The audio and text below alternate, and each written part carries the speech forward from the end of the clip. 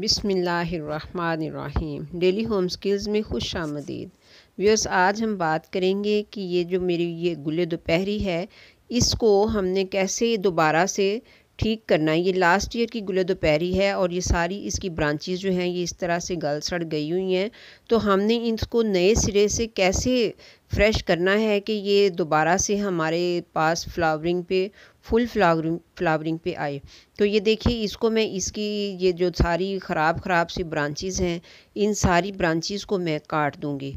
Pruning कर देंगे, अच्छे तरीके से इसकी हमने प्रूनिंग करनी है।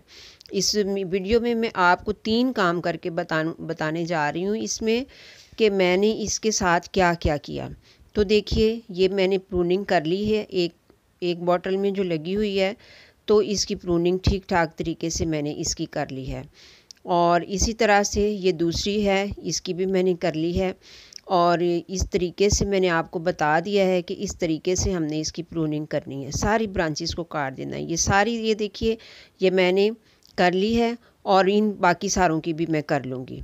इन सारी, इन सारों की भी ये फालतू ब्रांचेस को मैं काट दूँगी इन तो अब ये देखिए, दूसरा काम जो हमने करना है वो ये है कि ये इसमें, ये जो कटिंग हमारे पास बची है, इसमें जो अच्छी अच्छी ब्रांचेस हैं, अगर हम इनको ज़ाया करना नहीं चाहते हैं तो ये साफ़ साफ़ वाली ब्रांचेस को लेके तो हम इनको किसी दूसरे पॉट में लगा सकते हैं। ये देखिए, ये मैंने इसमें लगा के आपको दिखा दी हैं। तो ये इसके लिए मेरा एक और गमला जो है, ये तैयार हो गया है। और इन इस पर भी बहुत फ्लावरिंग होगी। तो ये देखिए, अब तीसरा काम जो हमने करना है, वो ये है कि ये इसके अंदर जो ये गंदमंद पड़ा हुआ है, मिट्टी के अंदर, ऊपर से कोई उड़ के पत्तियाँ गिर जाती हैं, कोई कागज़ गिर जाते हैं, कोई और गंदमंद इसमें जो गिर जाता है, वो भी हमने सारा इसके अंदर से निकाल के तो मिट्टी को भी साफ़ सुथरा कर देना पॉट हमारा जो है ये बिल्कुल साफ़ सुथरा हो जाए। तो ये देखिए, इस तरीके से हम इसको साफ़ करेंगे। ये इतना गंदा गिलास था, सारा कुछ गंदमन साफ़ करके देखिए कितना नीट हो गया है। तो इसी तरीके से इन सारे पॉट्स को मैं साफ़ करूँगी इन तो व्यूअर्स ये इनको साफ़ सुथरा करके तो इनकी शक्ल बिल्कुल ही फिर अच्छी तरीके से बहुत अलग ही निकल आती है। ये देखिए, इस गिलास के अंदर भी काफ़ी गंदमंद पड़ा हुआ है, मिट्टी गंदी हो रही है। ये इसकी अपनी ब्रांचेस भी झड़ झड़ के, पत्तियाँ झड़ झड़ के भी इसके अंदर गिरती रहती हैं। जब कुछ बाहर से गंदमंद गिर जाता है तो फिर मिट्टी बहुत गंदी गंदी सी लगती है, गमला बहुत गंदा गंदा सा लगता है। तो इसको भी हमने साफ़ करना होता है।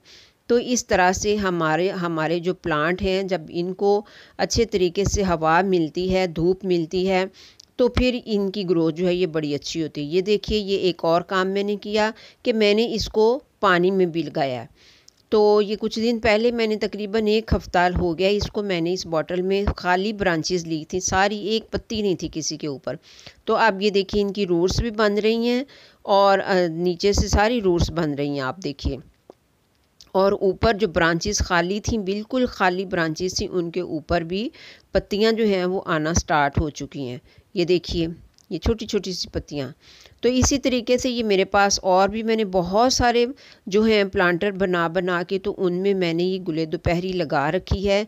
तो ये अभी मेरे छत पे कंस्ट्रक्शन का काम हो रहा है तो ये बेतरतीब से सारे जो हैं ये पड़े हैं। तो फिर मैं इन सारों को सेट करूँगी इन जैसे ये काम भी मुकम्मल हो जाता है तो ये, इनको भी मैंने सारों को रिफ़्रेश करना है। देखिए, ये कितने सारे मेरे प्लांटर हैं और सब में मैंने ये लगा रखी है गुले दोपहरी और ये सारी की सारी जो हैं, इनकी ब्रांचेस जो ख़राब हैं, इन सारों को मैं काट दूँगी। ये देखिए कितनी सारी ख़राब हो चुकी हुई है।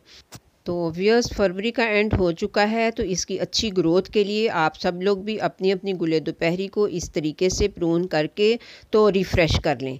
तो इन ये अच्छी ग्रोथ होगी।